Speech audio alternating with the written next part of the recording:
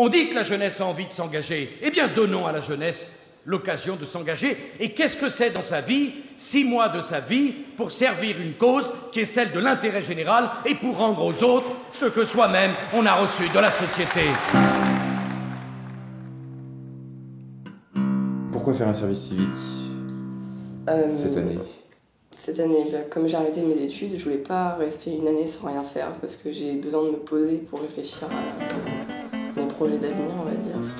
Voilà, on va se croiser là.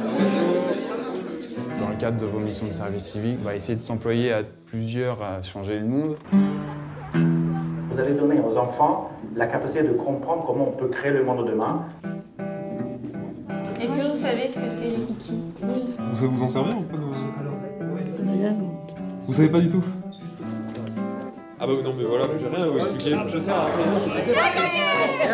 Nous, des fois, c'est un peu compliqué parce que c'est que être service civique dans un établissement, finalement, on paraît plus pour des extraterrestres. Même les élèves, ils pensent qu'on est déjà en réinsertion. Voilà, il y a des post-it de l'autre côté si t'as envie de répondre aux petites questions ou euh, de faire passer des mots, quoi.